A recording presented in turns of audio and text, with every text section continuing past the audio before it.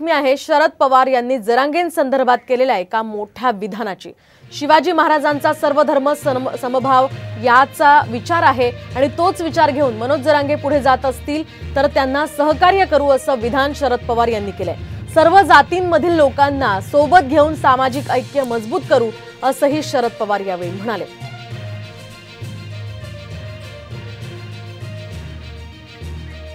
तर आपण पाहतोय शरद पवारांनी जरांगेंसंदर्भात आता एक मोठं विधान केलेलं आहे.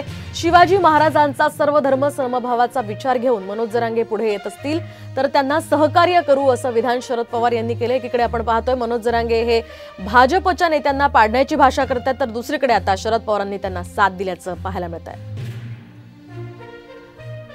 शिवाजी महाराजांचा हा जो विचार आहे तो विचार घेऊन आज कुणी जरांगे फुलायत असतील आणखीन कुणी फुलायत असतील त्या ऐक्याच्या विचाराला ज्यांनी हातभार लावला त्या सगळ्यांना आपण लोकांनी सहकार्य केलं पाहिजे. त्यांचं धोरण काय?